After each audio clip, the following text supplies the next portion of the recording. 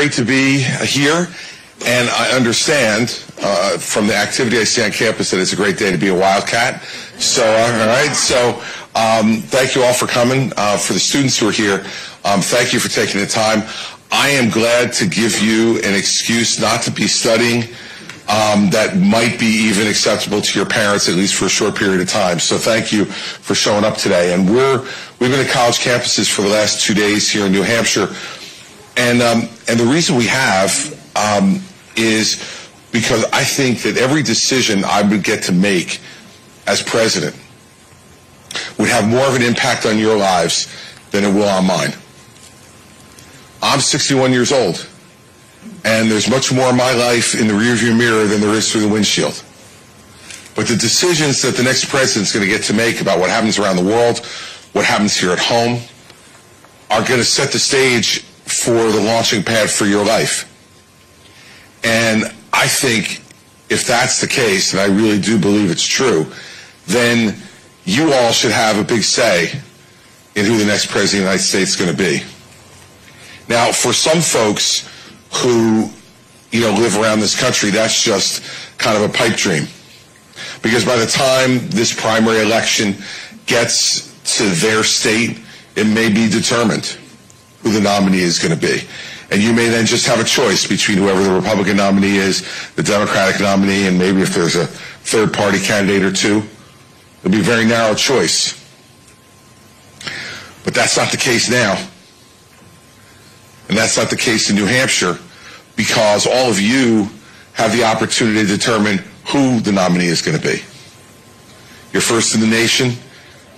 This field is narrowed to a point now where if you want to, and if the candidates care to, they could all come and see you here.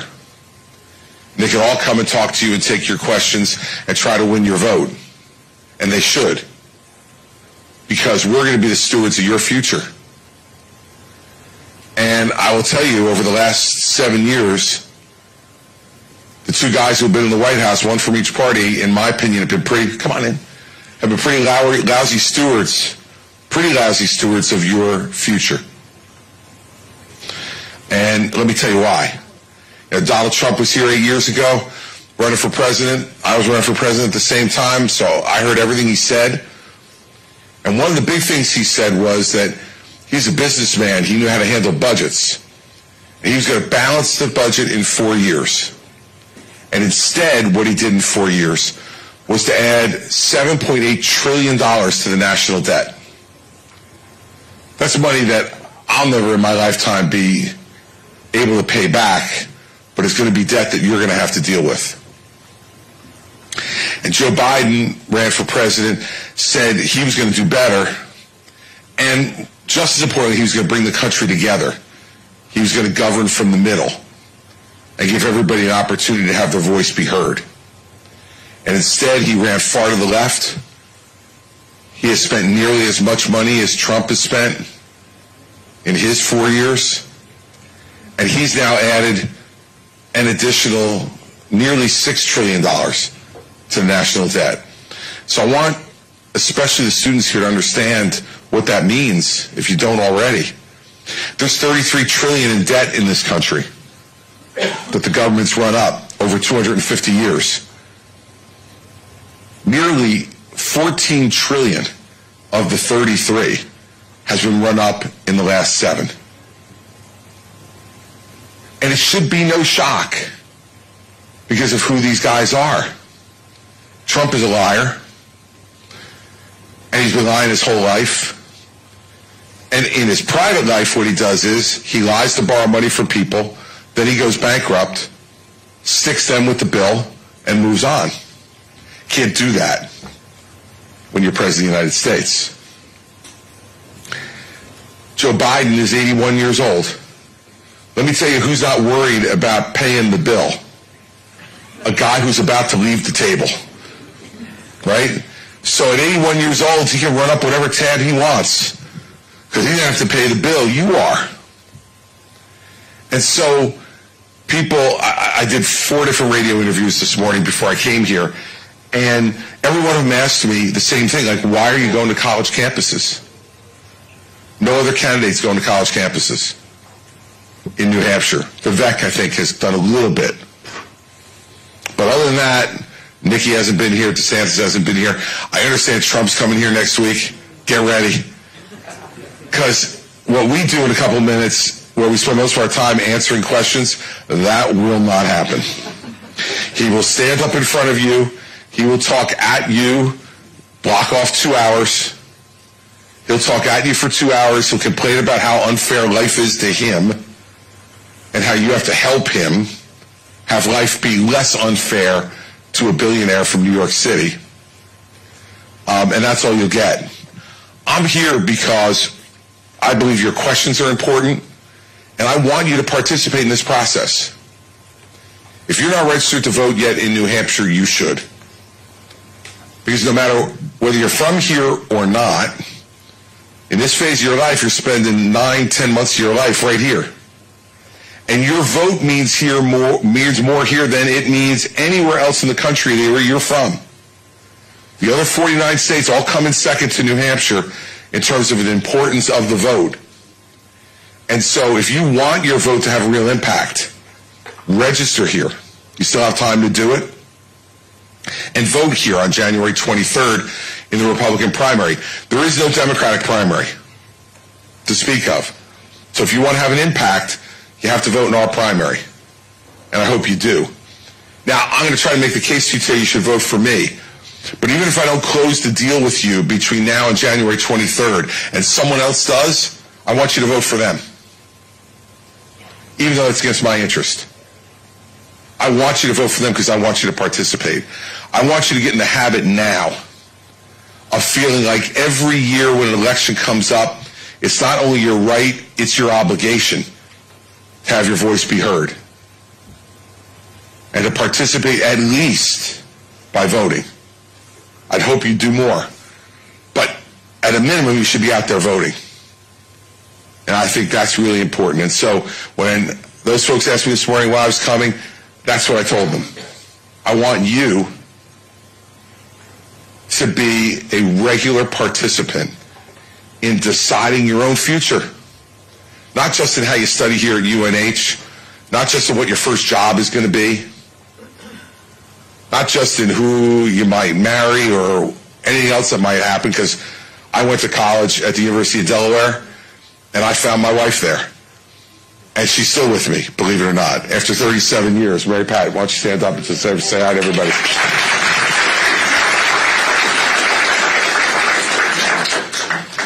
So that's why I'm here. And this election is not the most important election of our lifetime. Every candidate in every race says to try to get you juiced up, this is the most important election of your lifetime. The reason why I know it's not is we'll have another one in four years. So it's not the most important election of our lifetime, but it is the most important decision you need to make at the moment. Because the world has a lot of crises going on. We have a war, in Ukraine, the most serious shooting war in Europe since World War II. We have war in Israel. We have the Chinese expanding their military capability. We have the Iranians spreading terrorism all around the world and funding it. And here at home, we have a border that is open and porous and having 200,000 uh, illegal entry attempts a month. We have an economy where people have a hard time affording to buy a home, buy a car, borrow money to help their business because inflation and interest rates are so high. We have an educational system from kindergarten to 12th grade which is failing our kids. 39% of our eighth graders can't read at grade level. 25% of our eighth graders can't do math at grade level.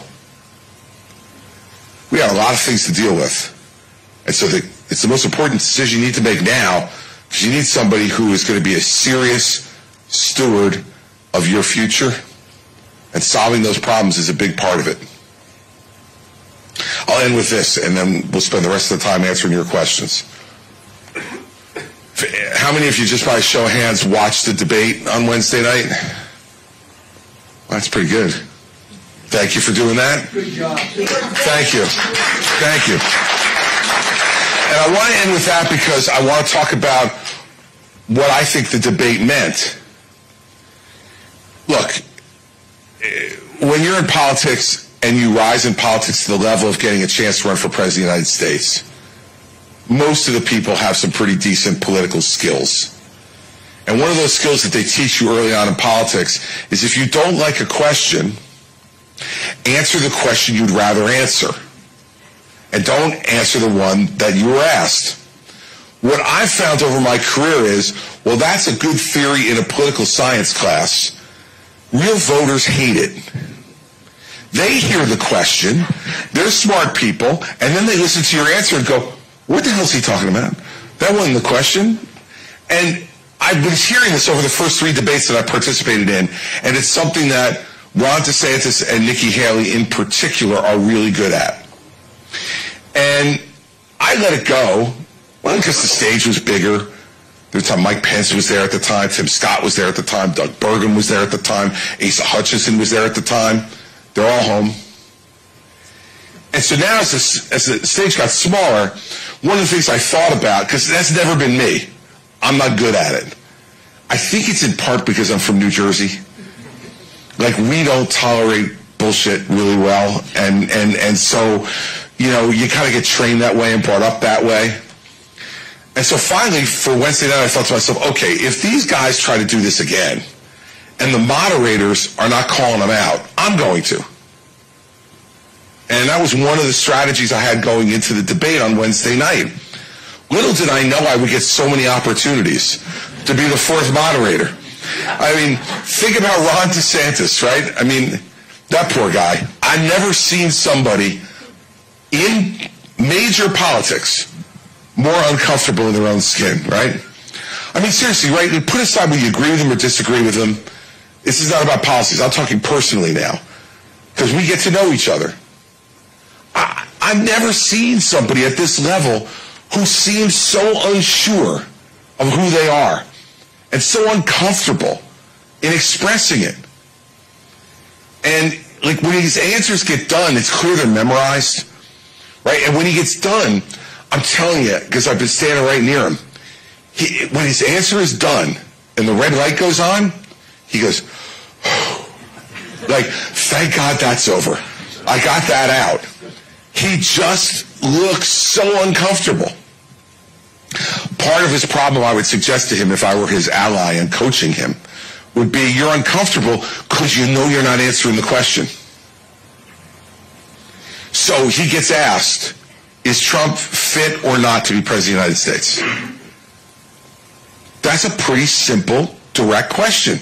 Either you believe he's fit or you don't. You saw Wednesday night, he would not answer. He's lost a little off his fastball. Father Time catches up to everybody. What's that mean? Is he fit or isn't he? He wouldn't answer. Would you send American troops to Gaza if you had a plan to try to rescue the American hostages, the eight Americans that are still in captivity there? He didn't answer. He talked about how serious the war is, how tough he'd be on terrorism, blah, blah, blah, blah, blah.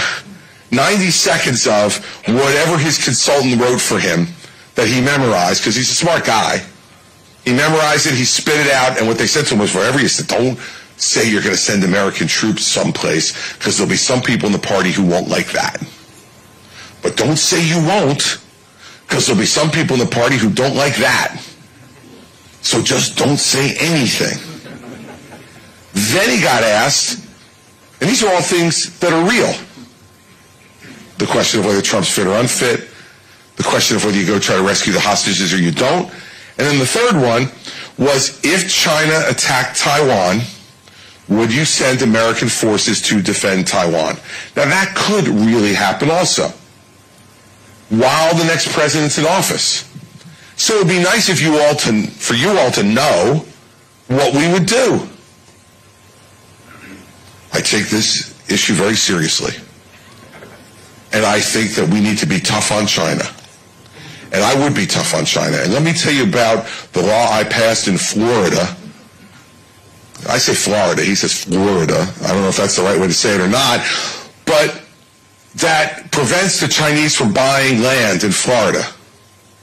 And I'm standing on stage going like, we're not talking about them buying land in Florida. We're talking about taking land in Taiwan. But okay, won't answer the question. Beware of people who won't answer your question. Because either it's because they don't know the answer, or worse, it's because they think you won't like their answer.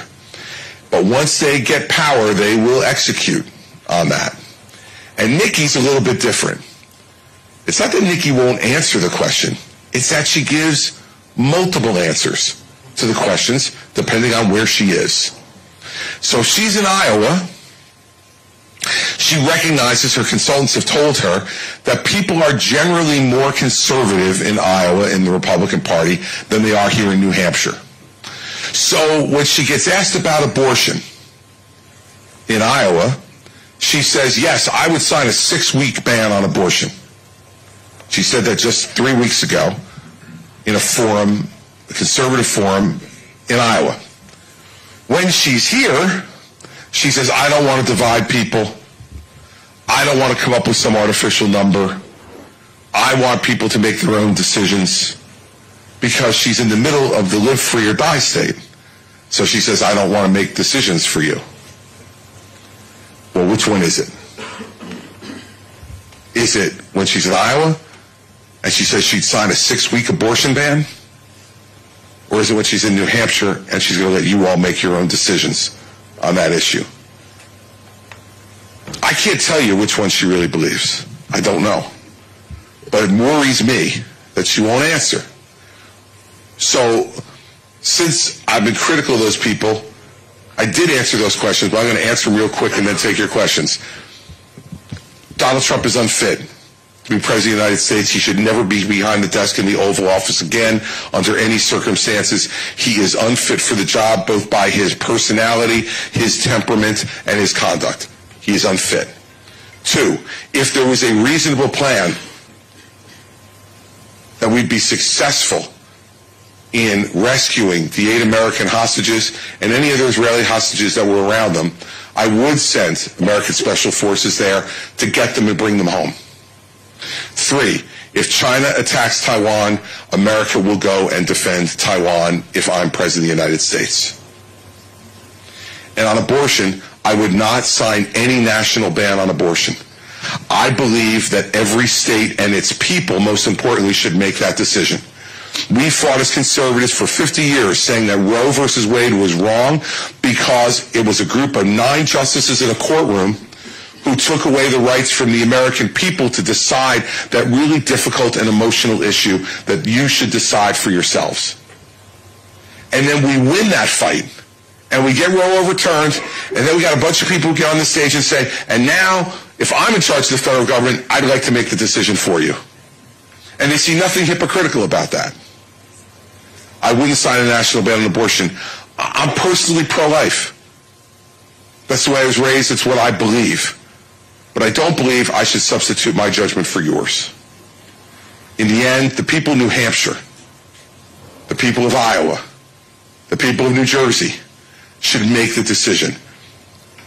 And when you think about how important that issue is and how important life is and how precious it is, and then you look at the Congress of the United States, who took three weeks to elect a speaker from their own party, and who held up over 400 military promotions playing political games, you trust them with the decision of life and death? I don't. And by the way, if it's decided by Congress, it could change every two years. You have Republicans in charge of Congress, maybe they'd vote to ban something. If the Democrats come back two years later and take Congress back, they'll switch the law for the whole country. Why should people live like that? On such an important emotional issue. The people should decide, not the politicians. So since I criticize them for not answering the questions or giving multiple answers, there are my answers. So now we're going to go to questions. We are not going to run this like other town halls get run by other candidates who come here who have their staff come in and interview you beforehand and figure out which one of you has a really nice question for me and then hand the microphone to you. We're just going to have you raise your hands. We have some folks here with microphones. The reason is not because the room is so big that we can't speak without microphones, but these guys get sensitive when they can't hear all the questions and the answers and want to play them later. So that's why we'll go with microphones. So raise your hand. Happy to answer questions from anybody about anything. All right, let's start with you in the back with the hat on. Governor Christie, thank you for coming out today. Thank you. I noticed in your speech one of the key issues that you don't mention is climate change. With the backdrop of COP28, um, thinking about climate change from a corporate perspective, 70, or sorry, approximately 100 companies account for 70% of global climate emissions, knowing that most of those com- uh, companies are based in the United States. You've previously made the position that you believe climate change is an issue that should be handled privately. What strategies as president would you implement to see climate resiliency, not only in New Hampshire, but across the country and world? But also, how are you going to hold those companies accountable in that system? Thank you. Sure. Well, first off, um, if I talked about every issue that I thought was really important, we'd never get to your questions. And I figure I usually get to those issues because you care about them. Um, let me start off by saying I have always believed, and I still believe now, that climate change is real and that human activity contributes to it. And that anybody who doesn't believe that is living in a fantasy world that doesn't, it absolutely ignores the science. Second, I don't think it should be handled purely privately. I think it has to be handled in both ways, both governmentally and privately, because the government cannot ever impose enough laws in order to change private conduct exclusively. You need to get their buy-in to do it as well. But the government can't ignore the problem and shouldn't. And I think we're doing a lot of things, and I did a lot of things as governor of New Jersey that I'm really proud of um, that reduced our carbon emissions significantly. When I was governor of New Jersey, we were the second largest solar producing state in the country because we invested in solar energy in New Jersey and made it widely available to people, both from a business perspective and from a residential perspective. And it made a real difference in terms of the amount of solar energy we were, we were producing. In New Jersey, and I would do, I'm citing New Jersey now because I would, these are the things I would do if I were president because I saw they worked in New Jersey. Second, we're the most densely populated state in the country, but 53% of our electricity is generated by nuclear power. We are underutilizing nuclear power in this country. It is much safer than it's ever been. It absolutely contributes nothing to carbon, and it is reliable.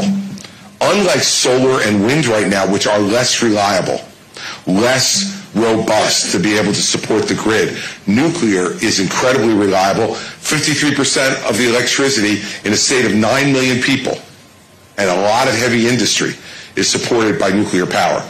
So I would set up governmental incentives to encourage the states to start approving a lot more nuclear power plants to provide the type of baseload electric support that we need.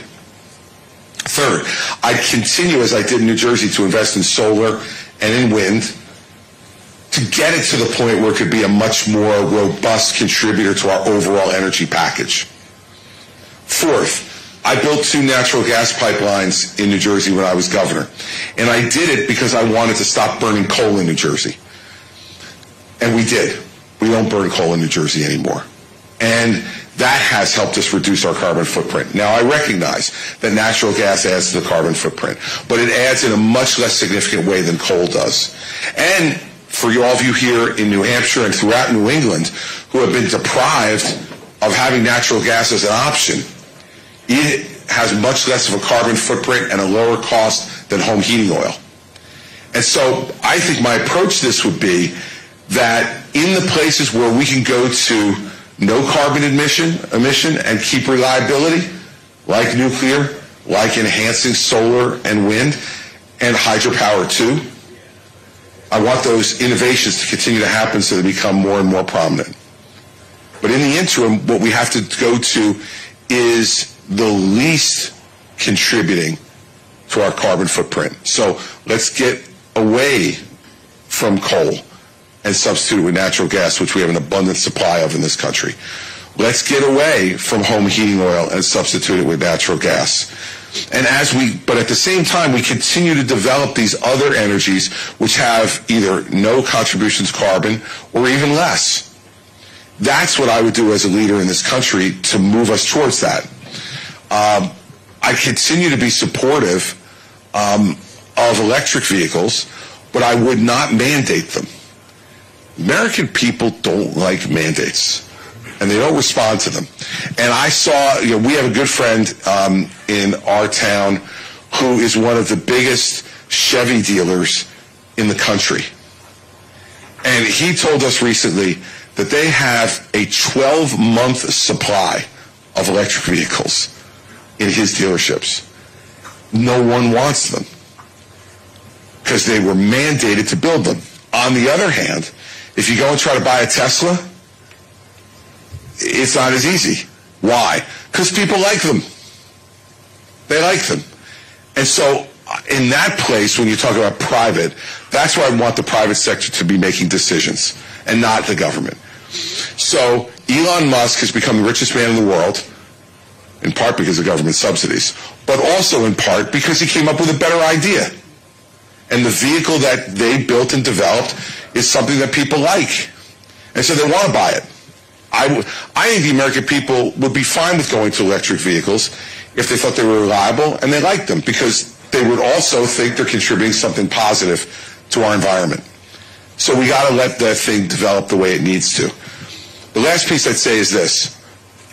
We in this country over the last 10 years have decreased our carbon output by a billion tons a year. At the very same time, the Chinese have increased their carbon output in those 10 years by 5 billion tons a year.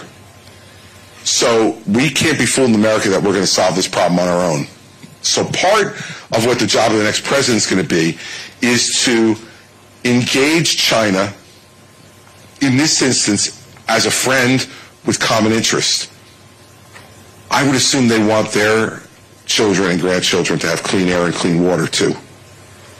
I would assume they don't want the earth to be destroyed because it would be destroyed just as much for them as it would be for us. So I think the next president has to engage the Chinese and say, look, you've had your industrial revolution. Enough now. Stop with adding 5 billion tons of carbon to the atmosphere every year. You have to get on a program now with us to bring your carbon output down.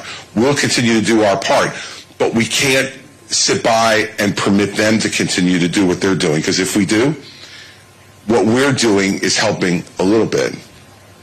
But what they're doing is causing the demise to come much more quickly than it should. And I think that's got to be part of your thinking too. It's not just what we do. We live in a world that's becoming smaller and smaller all the time. And what they do in China by burning all the coal that they burn is going to affect the quality of our life here in the United States as well. So we have to engage them on it. So that's what I would do on the, those issues. And you know, in the end, it's it's an emblematic issue of what I said at the beginning, which is it's going to affect your life much more than it's going to affect mine. And so you should know where we stand on this stuff so that we're helping to make matters better for you, not worse. All right, yes, ma'am. Um, before I ask my quick question, I just want to say um, my husband and I have to leave early. I have a doctor's appointment in Portsmouth, but I didn't want to miss this. I just didn't want to miss it. It's killing me that I can't stay for the whole thing. I have a quick question. When you become the Republican nominee, would you consider Liz Cheney as your running mate? Well, it's a really interesting question because Liz got asked yesterday on CNN why she hasn't endorsed me. Uh, because we sound very similar on these issues. And Liz still didn't endorse me. So maybe she needs to endorse me before I consider her for vice president. Um, so uh, I, I, I stand here in anxious anticipation of, I have great respect for Liz. I've known her for a long time. I worked in the administration where her father was the vice president. And so I got to know Liz all the way back then when I was the U.S. Attorney in New Jersey, appointed by President Bush. And, um, and I have great respect for her. And I think that her voice is a very important one in the conversation we're having right now. Um, but time to step up. You know, there's no one else on that stage who's saying the things she's saying, and she admitted that in the interview. Governor Christie's the only one up there telling the truth about Donald Trump. Well, okay. And she says that Trump is the single most important issue in this race. Let me tell you why I think she hasn't endorsed me. Because I think she's still thinking about running herself as a third party candidate. Um, and so she wants to keep hope alive there. And if she endorses me, then that kind of precludes her from doing it.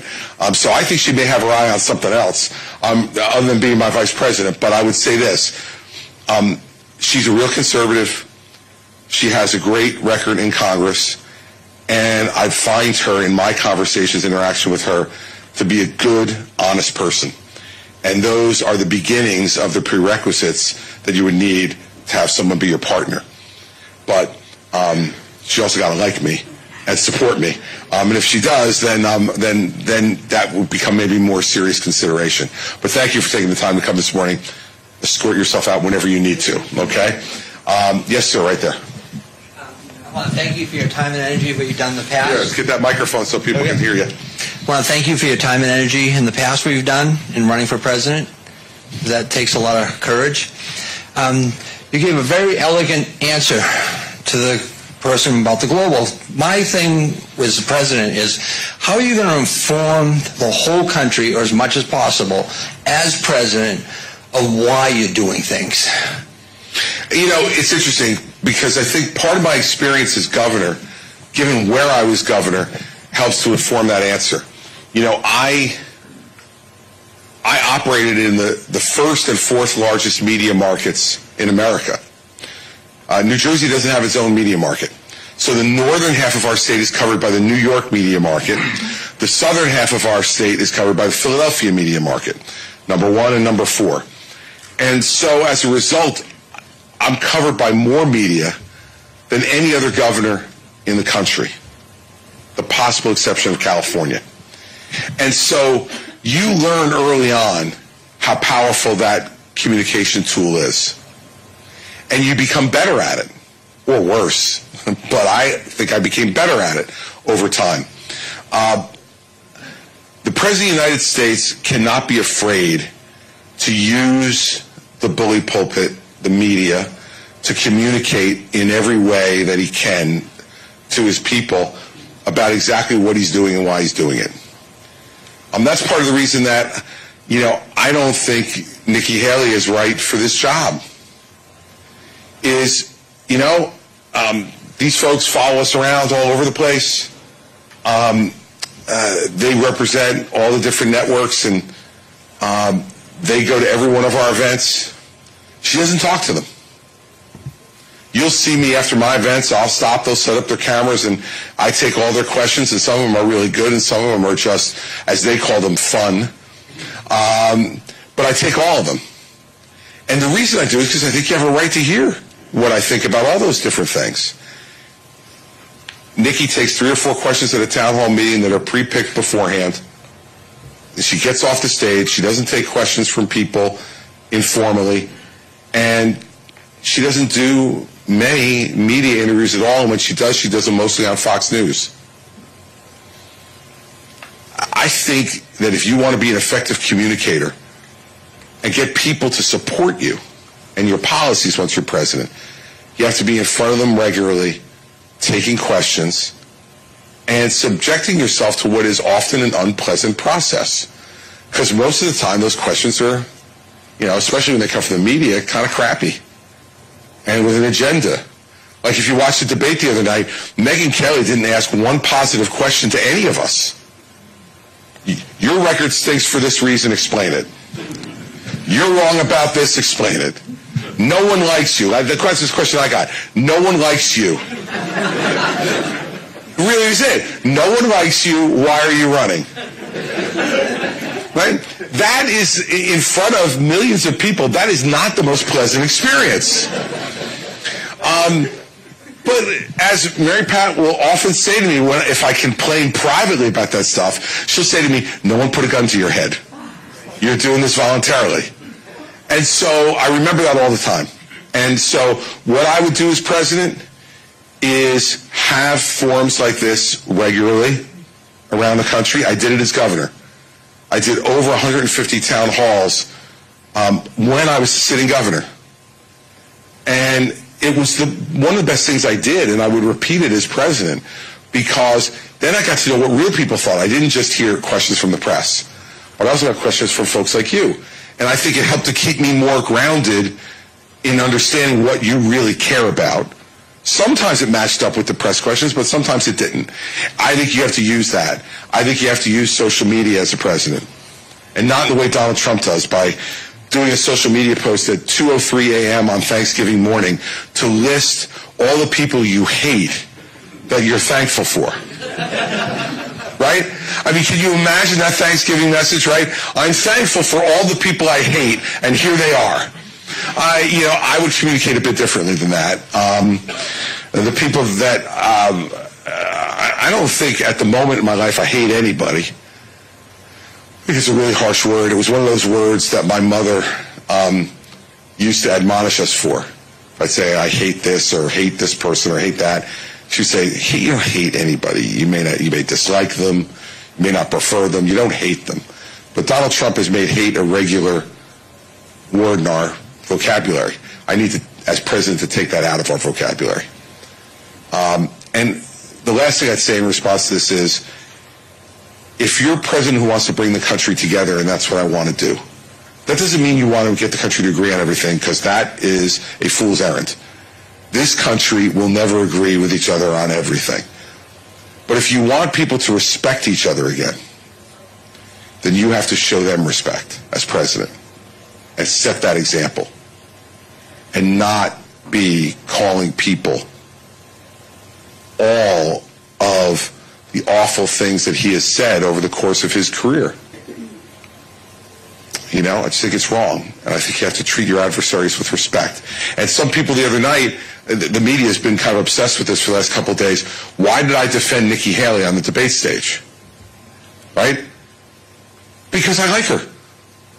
I've known her for 13 years. We've been friends for 13 years. We served as governors together. She campaigned for me. I campaigned for her when I was running for governor and she was running for governor. Nikki is a good person.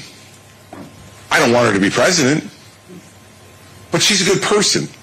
Everyone thinks there's some ulterior motive. No, I got sick and tired of having some guy on that stage compare her intellect to his three-year-old son. Right? That shows absolutely no respect for her on a personal basis, and it's undeserved.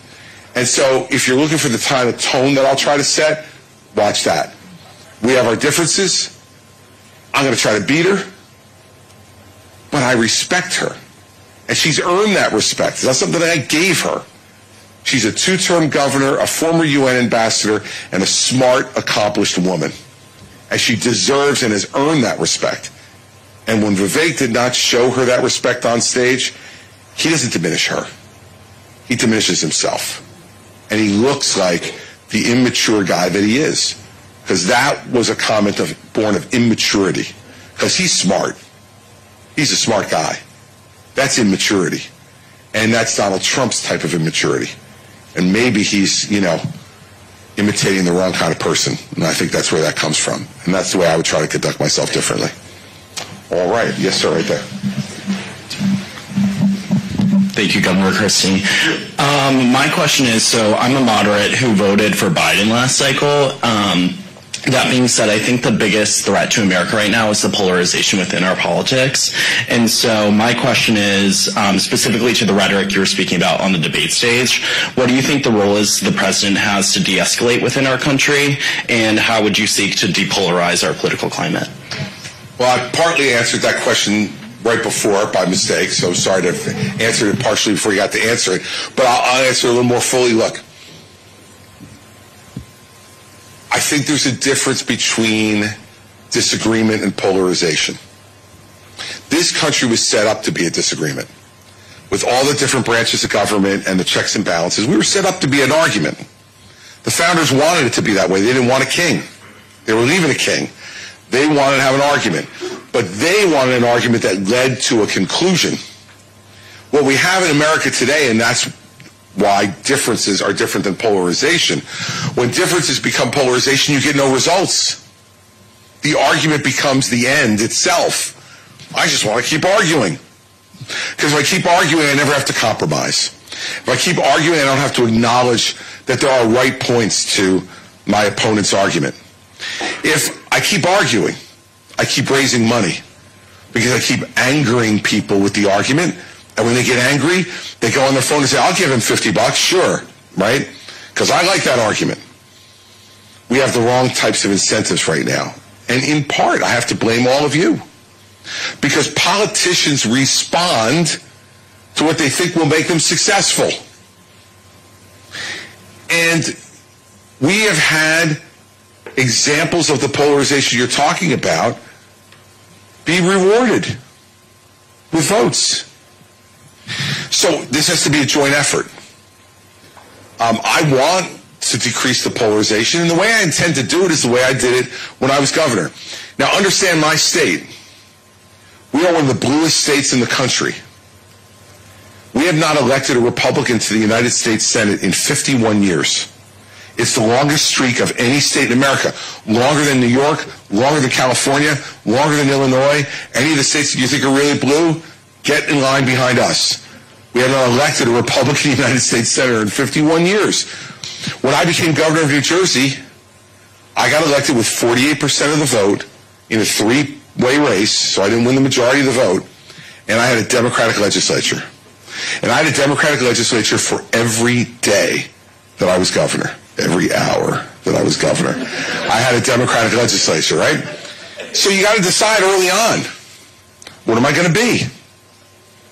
Am I going to be the guy who stands in the corner, yells and screams, and with my personality makes headlines, but doesn't accomplish anything?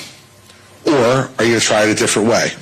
I decided to try it a different way. So during the transition to the governorship, um, I surprised the Senate president, who, by the way, is a guy named Steve Sweeney, who is president of the Iron Workers Union in New Jersey. So another shy and retiring guy. It's just like me.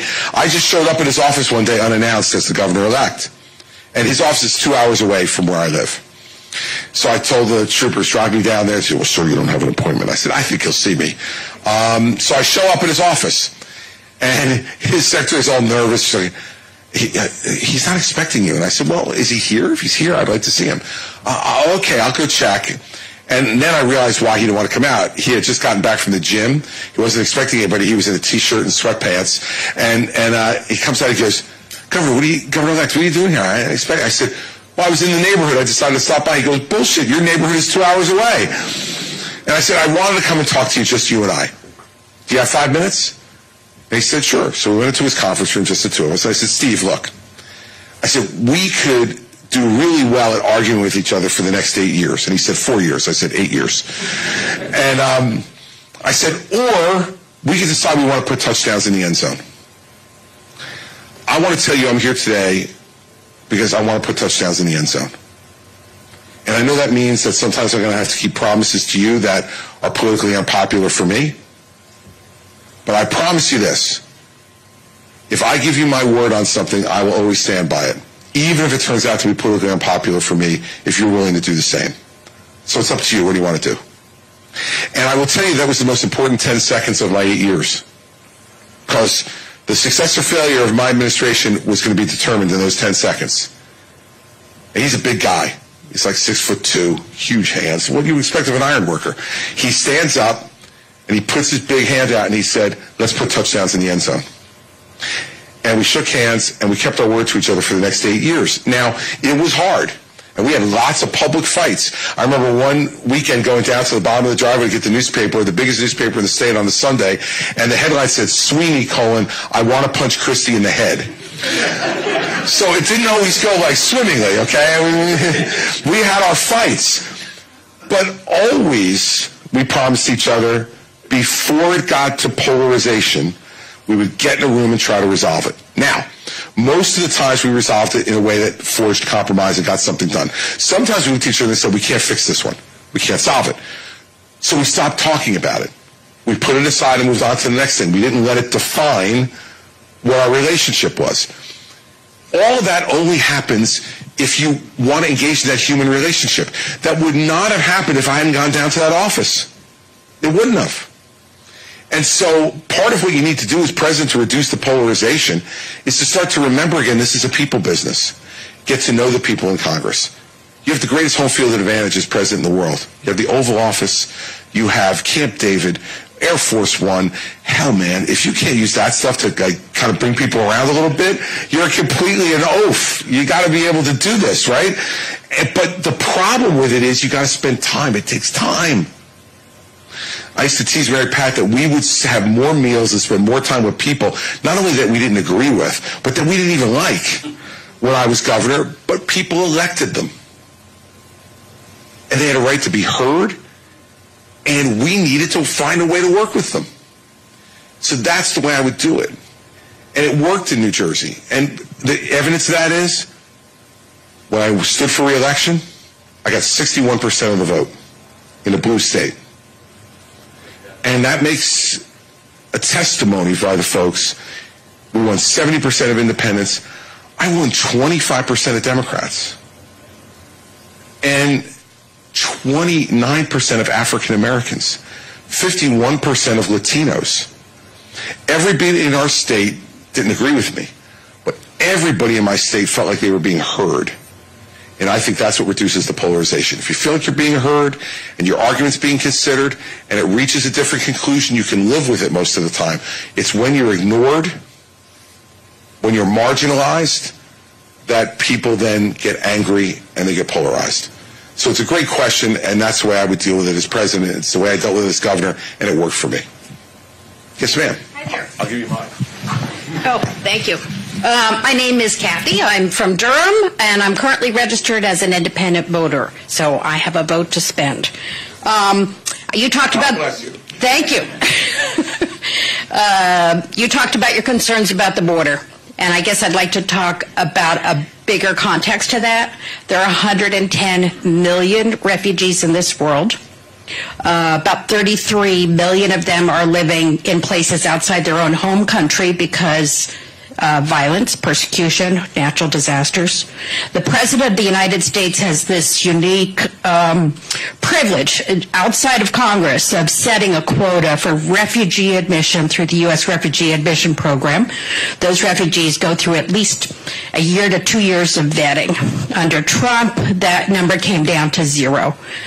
Even under Biden and Obama, we're up to about 125,000 a year, which is just a speck, uh, just a drop in the ocean.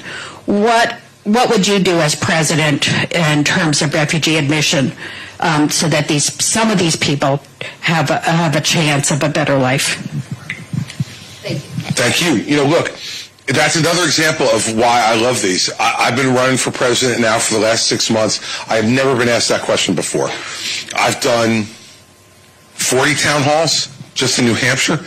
Never been asked that question. So it goes back to the point I was making earlier in response to you. These things, and why I would continue to do them is because every time I get a question that I didn't expect. And that's really good. So here's my answer. I think that if we're going to do that, the thing we have to do at the same time is get control over the southern border. Because we are, in essence, accepting thousands and thousands and thousands of refugees a day with no plan or program. Because a lot of those folks are economic refugees or political refugees who are coming over the southern border. They're, they're engaging in self-help rather than going through the process that you talk about on the refugee side, the formal refugee side, where we go through all kinds of vetting. There's no vetting going on at the southern border. So here's my, my issue with it. Until I get that on a path, doesn't have to be fixed completely, immediately, to be able to consider bringing other folks in through the formal program. But it needs to get on a path to fix it. So I'm not going to give you a number this morning because I think that would just I'd just be making it up. To be frank with you, but what I do believe is we've got six million open jobs in this country. So let's talk practically. In this economy right now, we have six million open jobs.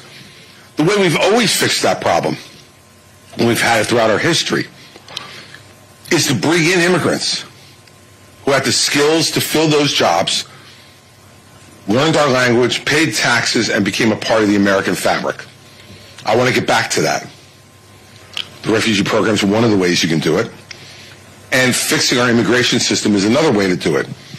But to do that with credibility where the American people will accept it, you got to fix the southern border. Because if they feel like we want to accept more people through the front door, but we will do nothing to fix the people who are sneaking in the back door, people are going to be rightfully angry about that. So let me use this as an opportunity to give you my five points on fixing that.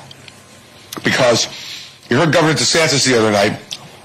He says he's going to shoot stone cold dead anybody who comes over the border with a backpack. Because you can assume they're a drug dealer, and without a trial or even a search, he's going to instruct people just to shoot them. Now that's TV tough guy talk. And it's stupid. And if I shot everybody here with a backpack, the whole campus would go down. And I think all of you with a backpack are not drug dealers, right? But he's assuming that that's the case. Ron's a smart guy. He doesn't really believe that. He just wants to sound tough. Complicated problem. We should do five things. One, send the National Guard to the border on my first day. Because our Customs and Border Patrol officers are overwhelmed down there. 200,000 illegal encounters a month for the last 11 months. They're overwhelmed. There's not enough of them to deal with the problem. So let's send National Guard to help them. Second, hire 10,000 new Customs and Border Patrol officers. And it's going to take a year, though, to get them recruited, trained, and deployed. So as you send them, you take an exact number of National Guardsmen and women out as they come in.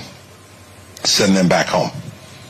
Third, we need to make sure that we build more beds to detain people at the border. 200,000 encounters a month. You know how many beds we have? 38,000. So I went to law school because I couldn't do math or science. But I can even do that math. Not good. So I would double the number of beds to 80,000. Fourth, people come in here claiming asylum. They deserve a hearing. They have to wait four years for a hearing. So what happens? Can't detain them for four years. So we release them into the country and say, hey, how about you come back to El Paso in four years um, and have your hearing where we might kick you out of the country after you've been living here for four years. They don't come back. So we need to triple the number of immigration judges. If we did that, we could bring it down to below a year before they get a hearing, and we could detain them that long. And that's the right way to do it, because then, for folks who are self-identifying as refugees, is what I would call that, we can then vet them and give them their hearing to test whether their refugee status is really legitimate or not. And if it is, they get admitted to the country. And if it isn't, they get sent home. Fifth, we need to change the immigration laws in this country. We haven't done it for 40 years. People are coming in illegally because they can't figure out a way to come in legally. And so we need to go to merit-based immigration. What are those six million jobs? What in what areas do we need people? If you've got those skills, you go to the front of the line. Let's have employers use E-Verify so they know what they're doing or not doing, whether it's legal or not. But to get that, get back to your question, we need to give the Democrats something in return, or else they won't give us those things.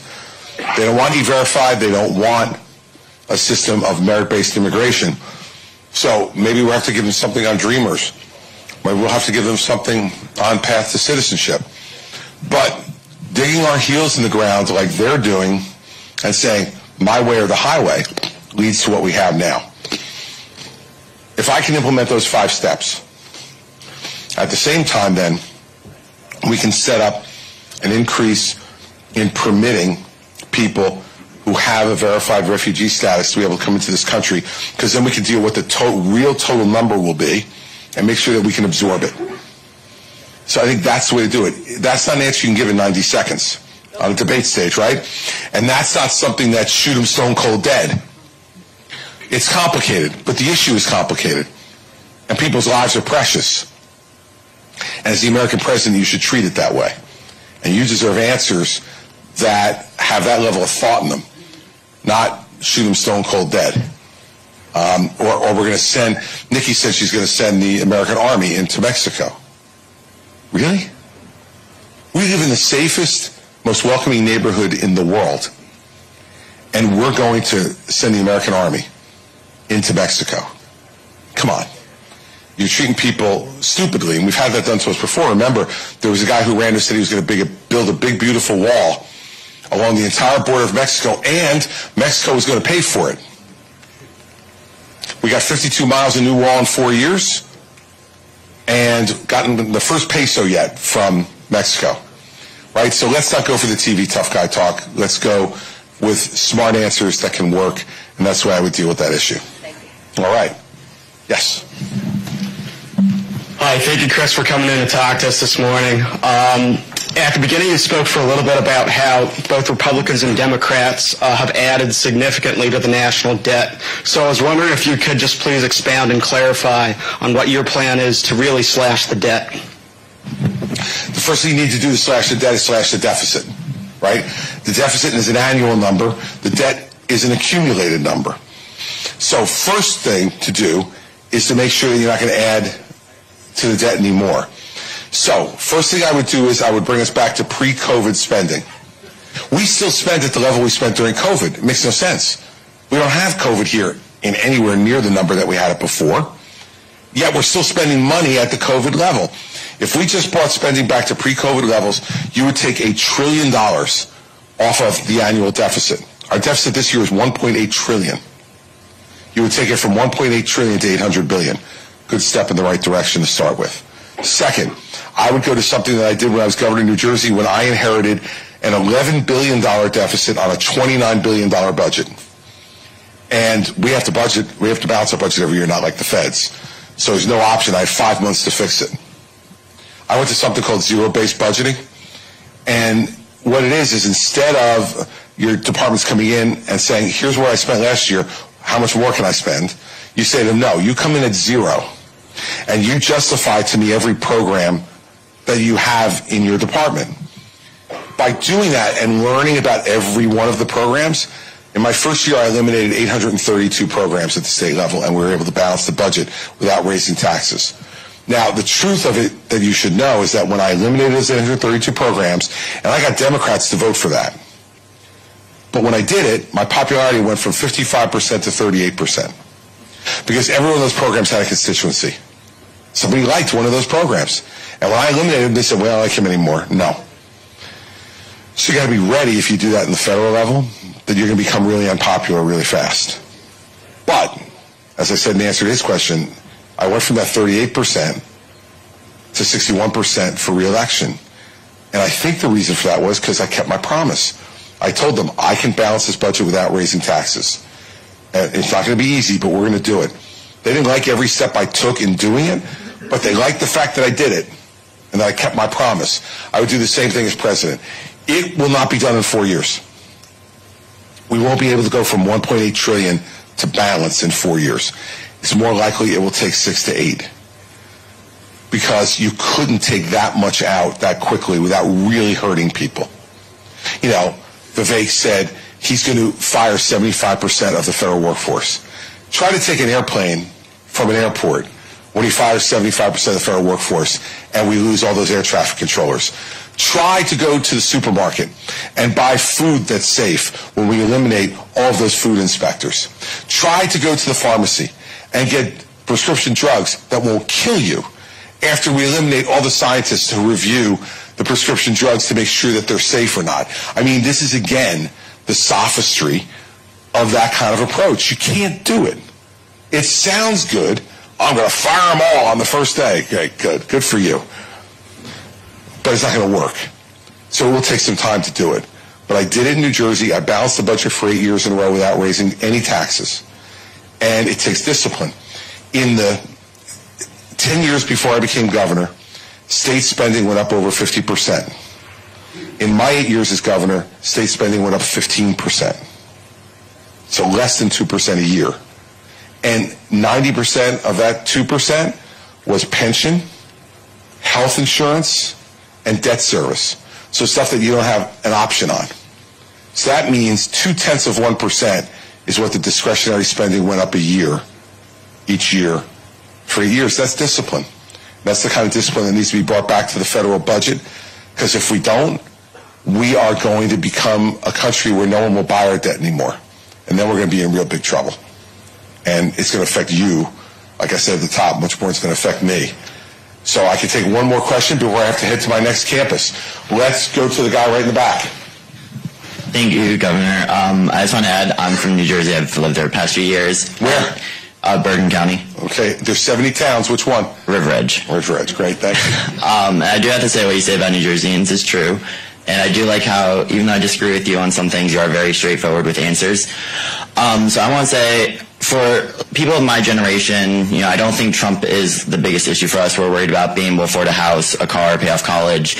Polls show we're the most depressed generation, you know, drugs, fear of getting drafted in a potential war. Can you elaborate on some specific policies that would benefit, like, younger voters? Sure. Thank you. Um, so first, um, by doing what I, I just talked about with what he said, we're going to benefit you both long term and near term.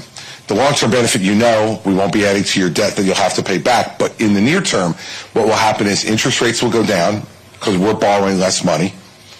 Um, inflation will go down so that when you work, you're going to be able to afford to buy more, spend more to help support your lifestyle. You want to try to buy a home, interest rates will be at 2 or 3% rather than at 7 or 8%. That makes the difference between someone being able to afford it and not afford it.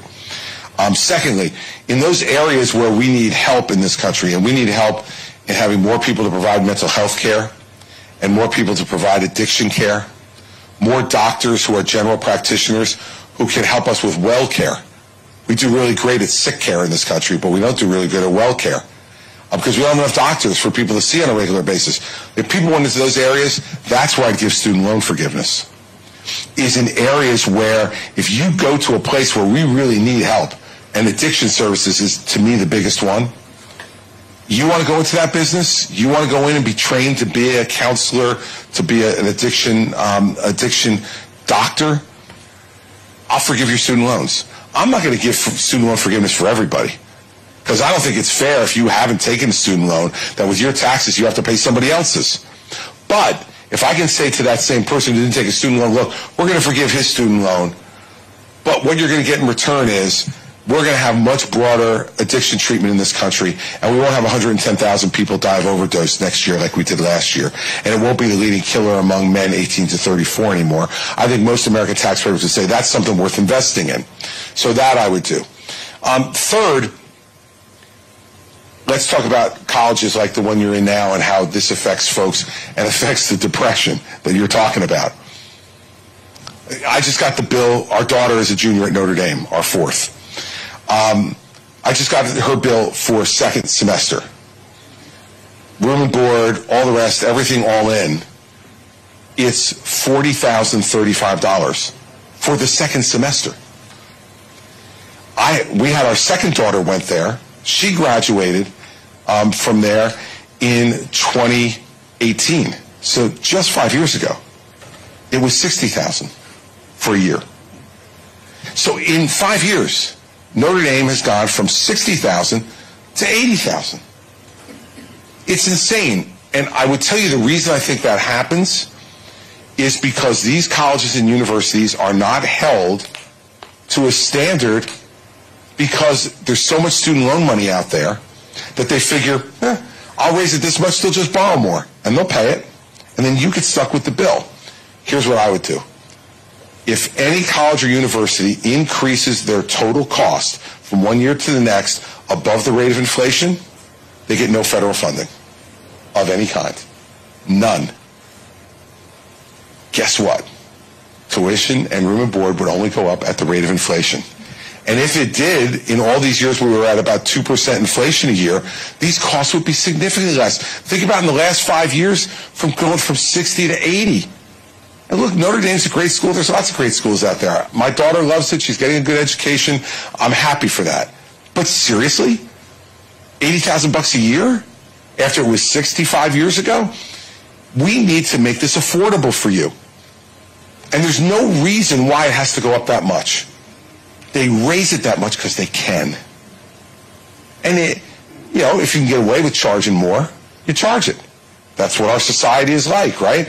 But but if we say to them, no more, that's the way I would control college costs. And it makes the debt you walk out of here with significantly less, which gives you more options in a couple ways. What job you can afford to take. You can really follow your passion then maybe if you want, if it's a little bit less money, because you don't have to worry about making that debt payment at such a high level every month.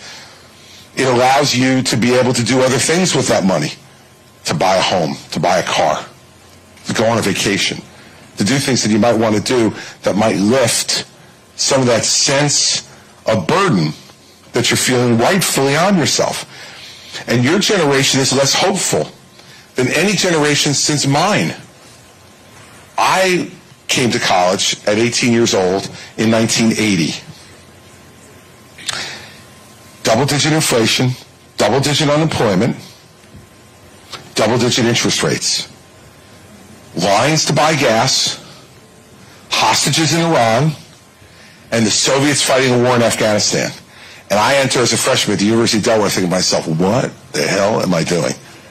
How's my life going to be any good? And back in those days, you had a lot of really, really depressed college students who felt like they had no future. I sat there in my dorm room at 18 years old with Jimmy Carter as the president saying to me, you know, it's my fault. There's a malaise in the country. We have to do better. We have to do better. And I decided, shit, I'm voting for Ronald Reagan. Because Ronald Reagan said to me, you're not the problem, we are. Government is not the solution to our problem. Government is the problem. And I said, sounds right to me. And he gave me hope. Presidents can give you hope by what they do and how they conduct themselves. And if they put their minds back into your mind in terms of where you are right now and what you realistically think the possibilities are for your future. In eight years, he transformed what I felt like. I went to college in those years and then went to law school. And when he left office in 1989, I was a first year lawyer. I was married. I was able to afford to buy my first house.